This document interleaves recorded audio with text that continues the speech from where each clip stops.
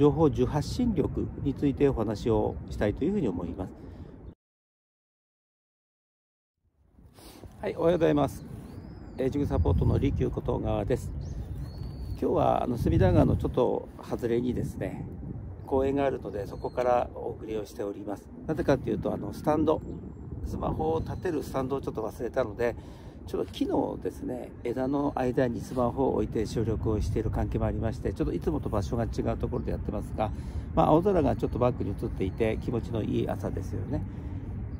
はいエイジングサポートチャンネルではこの朝のウォーキング Vlog を通して介護系の仕組み化介護系のシステム化について私の考え方をお伝えをしております。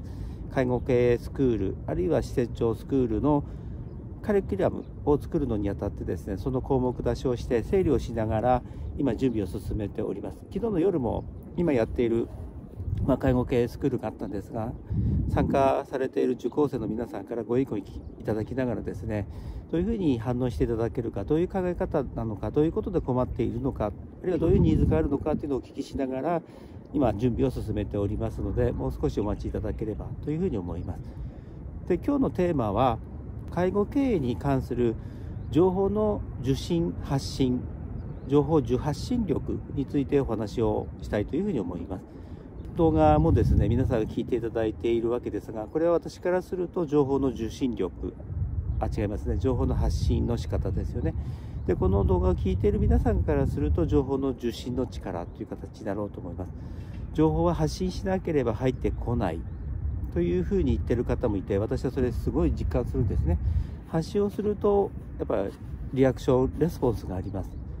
アウトプットをしなければ次の情報が入ってこない。情報が入ってこないということですね。情報を入れて情報発信しなければ次の情報が入ってこない。というような形になろうかなというふうに思います。2006年に YouTube を始めようと思って YouTube がまだまだあのカクカク動いてた時代ですよね。で一度断念をして2019年から YouTube をで情報発信することにもう一度再トライをしてでそれを介護経営介護スクールに反映をしようと思って情報の発信を今心がけております。で中にはその制度の仕組みって言いますかね自分たちが持ってる仕組みの中に例えばですね w i f i がないそれからパソコンがないあっても職員にそれを見せるだけの台数がないそれから就業規則あるいは内部のルール上ですねお家で見てるこの動画は仕事なのか個人の時間なのかというような制度が整備されていない。でそれに対して働いている人たちが、まあ、自分たちの意見をいろいろ言うわけですよね。それに対する答える仕組みがないのでじゃあやめておこうかというふうになる。そうすると情報が停滞して新しいことに取り組むことが少し遅れてで情報を発信できないので人を採用したくてもサービスを提供したくても自分たちの意見が相手に伝わらない中でやってきてですね提供する仕事提供するサービスにミスマッチが起きて次のトラブルを生み出すということが、まあ、連鎖的に起きる可能性があるわけですよね。例えば皆さんが介護施設を選ぶ働く場所サービスを利用する場所としてですね、まあ、単純に言うとですねホームページをご覧になると思うんですね。例えば役所に行って紹介されてもホームページを見る能力がある方は必ずホームページで再確認をすると思うんです。でそのホームページを見た時にあここに行って働きたいなここに行ってサービスを利用したいあるいは話を聞いてみたいというホームページとして情報が発信されているかということになりますよね。私も当然見るわけですね。いろんな方と出会った時にホームページを拝見してん？これは何が特徴なのか名前と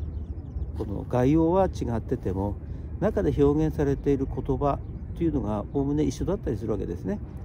こう寄り添う介護優しい介護介護保険ではこういう利用料であるという意味ではどこでも使われていてその施設の思いとか理念だとか考え方がなかなか伝わってこない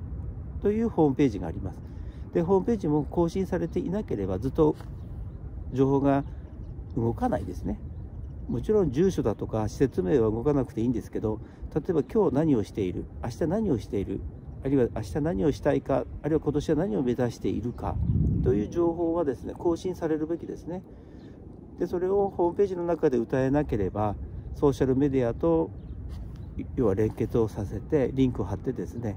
更新できる情報と固定されている情報をうまく使い分けていくということが必要だと思います。でもう一つこの問い合わせをしたい時にちゃんと問い合わせができて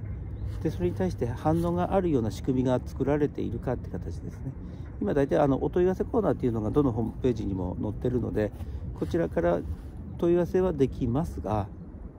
ちょっと私が思うのは相手の顔が見て見えてこないわけですね。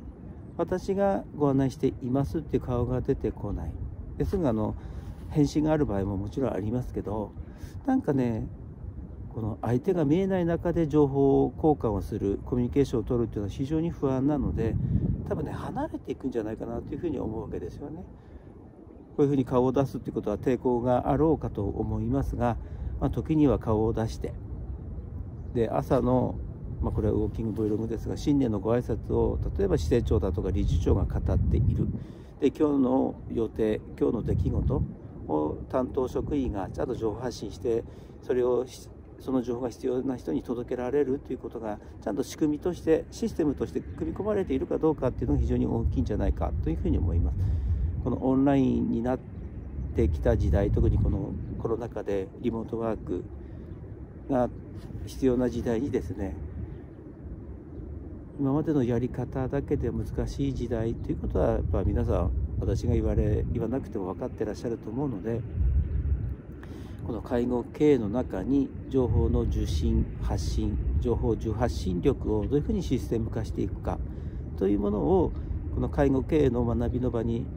カリキュラムとしてしっかり入れていこうかなというふうに思います。この話に少し興味をお持ちの方はまず自分たちのホームページをご覧になってくださいあるいは介護情報を求めている方はいくつかの介護事業者の、ホームページを見て情報をご覧になってください